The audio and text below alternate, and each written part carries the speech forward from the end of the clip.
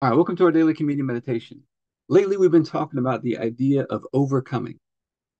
We talked about how it said in Genesis that Jacob wrestled with God and with humans, with man, and he overcame. And that word for overcome there is the word Hebrew word yakol. We talked about how Caleb, when the spies went to the promised land, they came back with an evil report.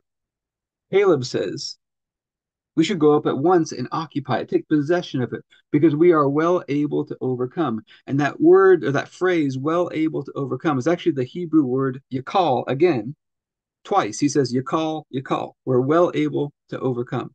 Yakol means to be able. It also means to overcome. It means to be uh, to prevail or to be victorious. And I was thinking about this. I was doing a little research on this word. And turns out it's actually one of God's names. Elohim Yakol. Elohim Yakol. It's the God who is able. And this comes from Daniel chapter 3, verse 17. It's the three guys that said, if we're thrown into the blazing fire, the blazing furnace, the God we serve is able to deliver us from it. He's Elohim Yakol and he'll deliver us from your majesty's hand. And we're going to take communion over this today, just as a time of gratitude that he is Elohim, Yakol the God who is able, the God who prevails, the God who overcomes. And he's with us. He chose to be with us, to have a partnership with us, a covenant with us through his son. But let's get started with our daily prayer. And then we'll get into our time of communion after that. Heavenly Father, I pray for everybody who's watching or listening, their families, their friends, everybody connected to them, and all of our church and governmental leaders. And I thank you for releasing us from darkness and transferring us into the light, into the kingdom of Jesus. I thank you for your purpose and grace given to us in Christ Jesus before time ever began. And that Jesus was struck down, he was smitten, bruised and pierced and crushed and destroyed, also that you could be on our side, that you could be fighting for us. And I keep asking that you, the Father of glory, would give us the spirit of wisdom and revelation so that we would know you more and more. That the eyes of our hearts would be enlightened to know the hope to which you've called us and the riches of your glorious inheritance that is in us and the immeasurable greatness of your power to us who believe. The same power that you exercised in Christ when you raised him from the dead, and you seated him at your right hand in heavenly places. Far above all rule and authority and power and dominion, and every name that is named, not only in this age, but also in the one to come. And you put all things under his feet and made him to be the head of the body the fullness of him who fills all in all. And Father, I ask you to bless us and to make your face shine upon us. Let us find grace and favor in your eyes. Expand our borders and our territory. Expand our capacity to receive everything you've given us in Christ. To let it flow through us so that we do good and are a blessing to people all over the world.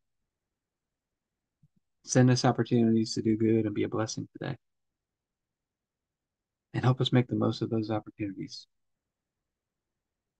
Keep your hand on us and help us do today what's right and best in your eyes. And do it with peace and joy and confidence in you.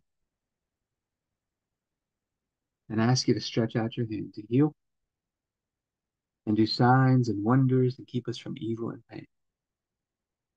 Through the mighty name of Jesus. Amen. And Father, we're just so grateful. You got all these names. We're so grateful for who you are. That one of those names is Elohim Yakol. That you are the God who is able. You are more than enough, Lord. You're able, you're able to cause us to overcome, to cause us to prevail, to be victorious in life. You give us the victory in Jesus Christ. We're just asking for a new understanding, a new revelation of this, and that we would remember this as we go about our day. that you are able. And we thank you the night Jesus was betrayed, he took the bread. And he said, This is my body broken for you. Do this in remembrance of me. I just thank you that we get this opportunity to remember all that Jesus went through so that we could be connected to you, one with you, the God who is able. And so I thank you for this bread and ask you to bless it in Jesus' name.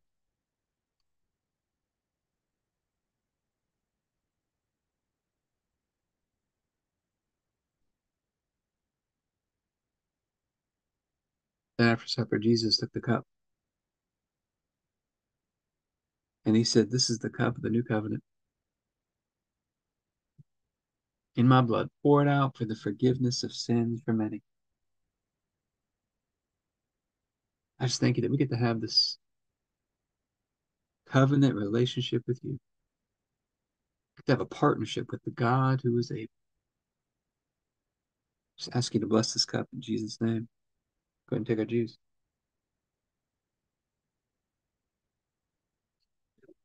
Uh, let's talk about some practical application into our health and fitness.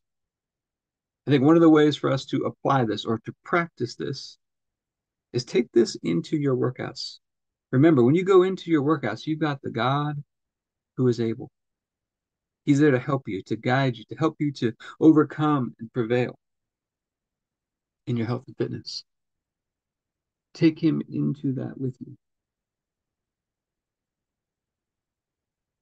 Keep remembering God is with you. He loves you and nothing's impossible for him.